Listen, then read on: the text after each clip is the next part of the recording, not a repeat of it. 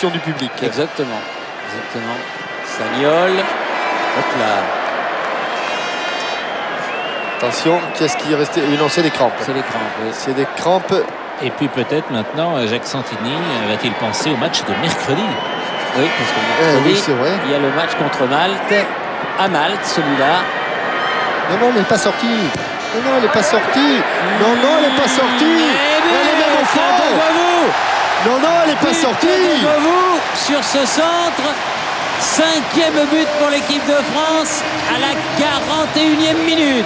Et bien, on va voir tout le banc. Sidney Govou. Ah.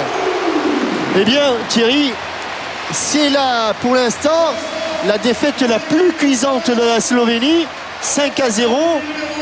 La précédente, elle avait été concédée euh, face. euh, c'est un petit peu bizarre, ça va une équipe slovène un peu mixte contre le Honduras. 5 buts à 1. Tête de Govou et but. Un joli but, ma foi. Wiltord va sortir et va rentrer Bruno Chéroux. Et